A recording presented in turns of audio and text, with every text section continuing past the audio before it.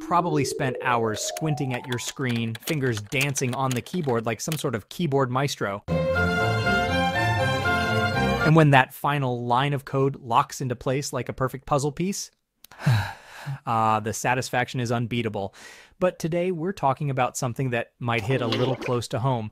You see, being a programmer isn't all caffeine fueled coding sprees and victorious fist pumps.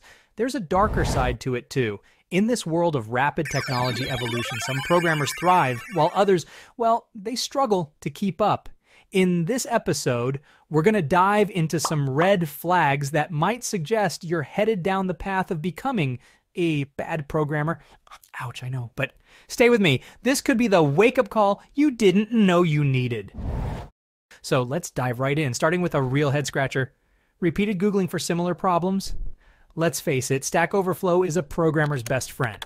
But there's a fine line between referencing a solution and relying on it entirely. I mean, if you find yourself Googling how to check if a file exists using shell one day, then how to check if a file doesn't exist using shell just two days later, that's a red flag, my friend. As programmers, we're supposed to learn and build on our knowledge.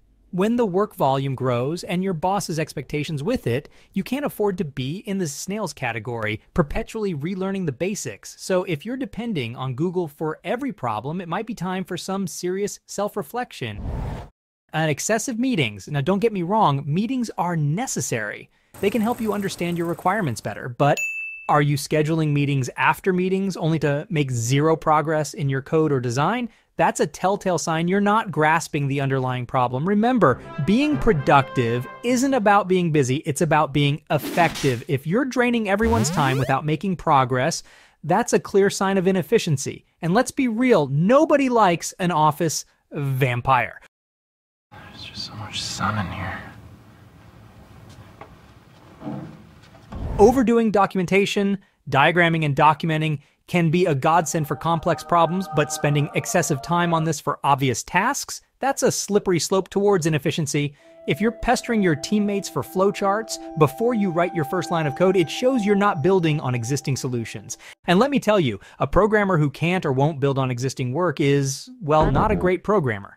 Emailing everyone all the time, nothing says I'm lost quite like a barrage of emails to everyone on your team. If you're misdirecting questions, you're not only reducing team productivity, but also muddling the sense of responsibility within the team. As programmers, we need to understand the principle of accountability. Your mistake might just be setting a precedent for the junior devs on your team. And let's face it, nobody wants an email army always reinventing the wheel. Innovation, great. Research, fantastic. But spending months developing a solution for a problem that already has a one keyword Google search fix? Not so much. Being a valuable programmer is all about balancing innovation with pragmatism. If you're delaying projects due to an obsessive need for originality, you might be becoming a liability to your team. Anxious coding. Here's a programmer who's the opposite of our previous example. This guy dives into code without thinking, then quickly Googles a solution and slaps it into the code base. Sure, you get that instant gratification, but what happens when you uh, run into an edge case that, that your pasted code doesn't cover, or when your hastily slapped together function needs to be reused? The frantic nights of refactoring aren't worth it, trust me. Neglecting personal life.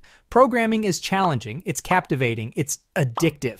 But remember, folks, we're humans before we're programmers. If you're spending every waking moment in front of the screen, disconnected from your family and loved ones, it's not only bad for your personal life, but also detrimental to your programming career. Stress and burnout are real and they can drastically impact your performance. Remember that recognizing these signs is the first step towards improvement programming might be a modern job, but it still follows the old rules. We need to balance the cognitive load on our minds with the increase in machine capacity and development productivity. It's all about knowing where you stand as a programmer and continually striving to meet your personal and organizational goals without compromising your work life balance. So, are you a programming hero? Or is there room for improvement? Either way, I hope this episode gave you some food for thought. Until next time, happy coding, folks.